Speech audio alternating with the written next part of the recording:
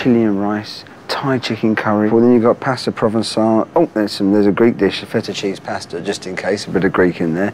It's got more reference to Thailand and America and Hawaii and Maryland and everywhere, everywhere else other than Britain. This is the menu of a company in a panic. Mixed grill. That's massive.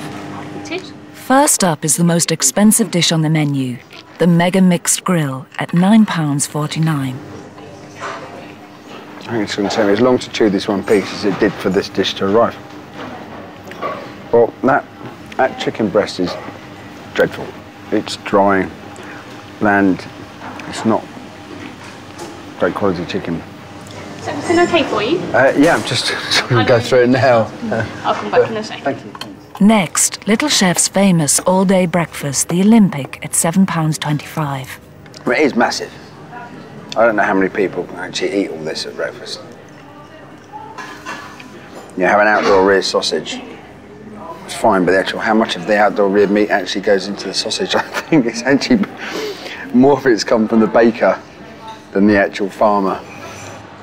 And cooked the Little Chef way, scrambled eggs straight from the microwave, normally served on toast. It's it's rubbery.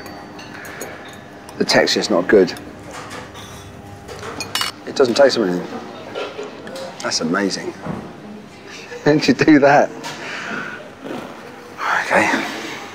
Forget all the all the glossy veneer stuff. Go back to the basics, get that sorted, and I think this might be at the heart of what's going wrong here.